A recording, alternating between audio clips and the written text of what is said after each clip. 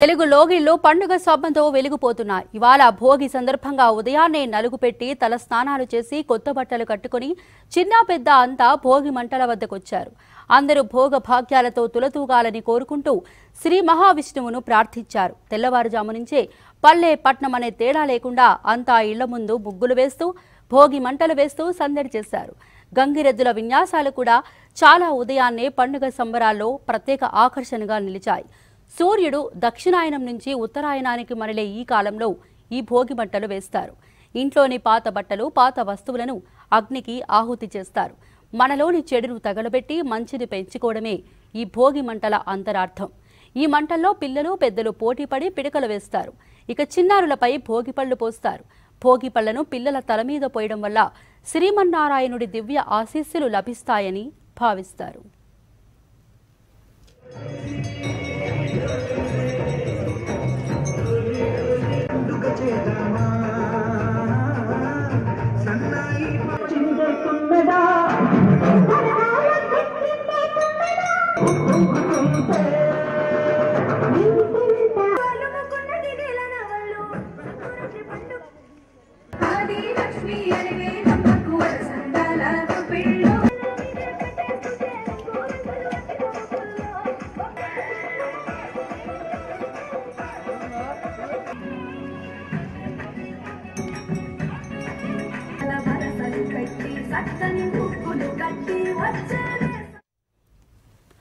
సంక్రాంతి ప్రధానంగా రైతుల పండుగ. రైతు ఇల్లు ధాన్యంతో నిండే పండుగ. అన్నదాతల కళ్ళు సంతోషంతో మెరిసే పండుగ. అందుకే ముంగిళ్ళు ముగ్గులతో మెరిసిపోతుంటాయి. గంగిరెద్దుల విన్యాసాలు హరిదాసుల సందడి సంక్రాంతికి వన్నె తెచ్చేవే. కొత్త అల్లుళ్ళు కొంటె మరదళ్ళు నోరూరించే పిండి వంటలు ఇలా ఏ ఇల్లు చూసినా సందడే సందడి. ఎడ్ల పందాలు కోళ్ళ పందాలు లేకుండా పర్వదినాన్ని ఊహించలేరు. అందుకే ఊరువాడ సంక్రాంతి సంబరాలు మిన్నంటుతాయి. ఇంత అందమైన పండుగ కాబట్టే నగరాల్లో ఉన్న వాళ్ళంతా తమ సొంత ఊళ్ళకు వాలిపోయారు.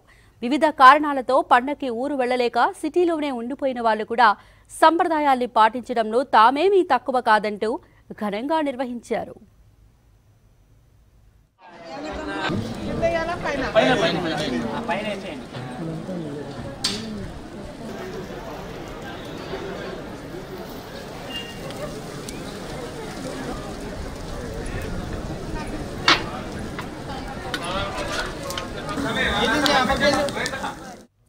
సంక్రాంతికి ముందు రోజు వచ్చే పండగే భోగి. అందుకే భోగి పండగకి పెద్ద పేరొచ్చింది.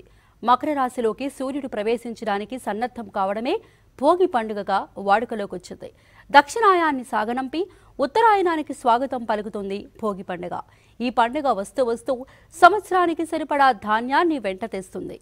భోగి రోజు ఉదయాన్నే చక్కగా అలికి రంగురంగుల ముగ్గులు పెట్టి వాటి మధ్యలో గొబ్బెమ్మలు పెడతారు. హరివిల్లుల రంగవల్లులతో అలంకరించిన లోగిళ్ళు కొత్త పండుగకు స్వాగతం పలుకుతాయి. హరిదాసులు డూడు బసవన్నల ఆటపాటలు పండుగ శోభను మరింత ఇనుమడిస్తాయి.